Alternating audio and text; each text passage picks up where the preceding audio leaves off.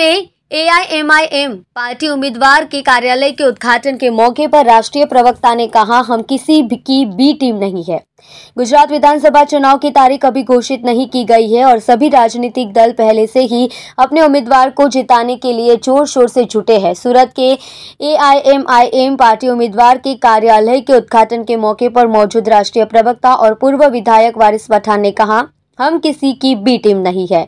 हम पर झूठा आरोप लगाया जा रहा है, जो पूरी तरह से निराधार है। इस बात हम गुजरात में कई सीटों पर लड़ेंगे और जीतेंगे। भाजपा कांग्रेस ने कोई काम नहीं किया। सूरत के होड़ी बंगला में कोहिनूर प्लाजा में उम्मीदवार वसीम कुरेशी के कार्यालय का उद्घाटन किया गया। इस मौके पर वरिष्ठ पठान ने कहा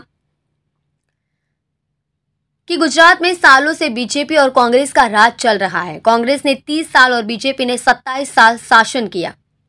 लेकिन कोई विकास कार्य नहीं हुआ, इसलिए हम अपना एजेंडा और योजना लेकर आए। हमारे पास एक रोड मैप है और उम्मीद है कि लोग हमें स्वीकार करेंगे और हमें मौका देंगे। गारंटी कार्ड झूठे साबित हुए, आम आदमी पार्टी पर हमला बोलते हुए। वारिस पठान ने कहा कि दिल्ली में लोगों को बिजली गारंटी कार्ड दिए गए। लेकिन उसके बाद फॉर्म भरे जा रहे हैं जिनकी गारंटी की आवश्यकता नहीं है। बीजेपी नफरत की राजनीति कर रही है। पहले हिंदू मुसलमान के बीच फासला बना हुआ था। अब तो रोटी और पराठे जैसे खाने पीने की चीज़ों का भी राजनीतिकरण किया जा रहा है। पराठा कर लगाया गया है। यह क्या साबित करता है? हम विकास की राजनीति करने जा रहे हैं, हम स्वास्थ्य और शिक्षा पर ज़ोर दे रहे हैं, जबकि बीजेपी और कांग्रेस समेत पार्टियाँ ऐसे फाउंडेशन की बात नहीं करती है। सदर जनाब साबिर काबलीवाला साहब से जो जमालपुर खाड़िया से हमारी दलित बहन कौशिका परमार थी, जो दानी लिमड़ा अहमदाबाद से है उसी दिन असद साहब ने वसीम कुरैशी साहब को डिक्लेयर किया था सूरत से आपके यहाँ से जो आपका अपना बच्चा आपका अपना बेटा आपका अपना भाई है।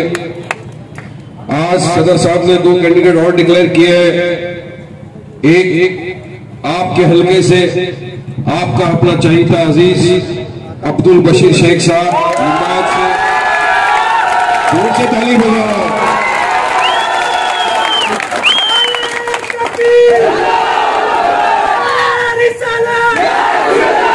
और दूसरे कैंडिडेट जनाब शाहनवाज खान पठान, बापू नगर अहमदाबाद से डिक्लेयर किए अब तक तक हमारी लीडरशिप को पहचान दिलाने आए हैं। जो एक बैरिस्टर असदुद्दीन ओवैसी साहब का सपना है कि हमारे लीडर हमारे अंदर से निकले, हमारे घरों से निकले, जिसकी हमें आज के माहौल में ज़रूरत है। वो ज़रूरत ऐसी है कि कितने समय से, पिछले सत्तर सालों से एक बेकावे ने हमें एक वोट में तब्दील किया है।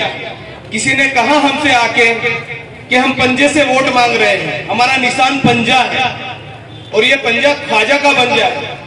मुझे ये बताओ कि ख्वाजा का पंजा कभी हार सकता है? कभी हारा है? तो ये नकली पंजा लेके घूम रहे हैं आप लोगों के बीच में। अब जब हम आ गए तो इन्हें हो गई तकलीफ़। अब तकलीफ़ ऐसी हो गई कि हमारे पोस्टर भी फाड़ने लगे।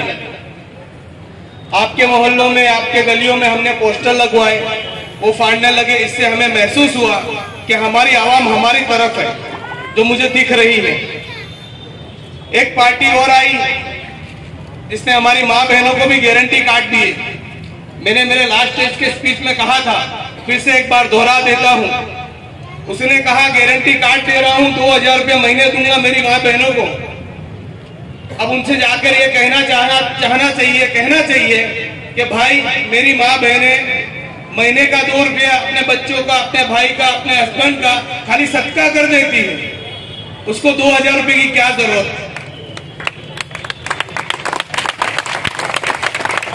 है रही लाइट बिल फ्री देने की बात। झाड़ू लेके आए, मुफ़्त मुफ़्त मुफ़्त मुफ़्त। अरे भाई, हम कई सालों से बिल भर रहे हैं। जब एक बल्ब चलता था वो, छोटा वाला सौ वोट का, तब भी बिल भर रहे थे। और अब पाँच ऐसी चल रही तो अलहमदुल्ला, तभी भी बिल भर रहे हैं हम लोग। हमें फ्री की आदत नहीं है भाई। हमने फ्री कभी खाया ही नहीं। हम जकात देने वाले लोग, हमें फ्री की क्या ज़रूरत है? ये फ्री की जो आप ये स्कीमें ला रहे हो ना, ये कहीं और ले जाइए, जहाँ काम आपका बनता हो। दिल्ली वालों ने देख लिया, आपको इस बार वहाँ भी आप आने वाले नहीं, और यहाँ तो सपने ही ना देखो। रही सत्तर सालों में जिस पार्टी ने हमें चोट दी, जख्मे दिए, मरम भी नहीं लगाया। और कहने लगे, हम आपके साथ हैं। जब हमने कहा, भाई, बाबरी पे बोल लो थोड़ा सा। तो गए नहीं, आकाओं ने मना किया नहीं बोलेंगे। जब हमने कहा, चलो ठीक है, अभी वक्त आ गया, बिल्किस बानो हमारी बहन है। चलो ठीक है, मुसलमान मत मानो, उसको एक इंसानियत के नाके बोल लो। तो तीन खड़े हो गए, गले में मफलर डाल के।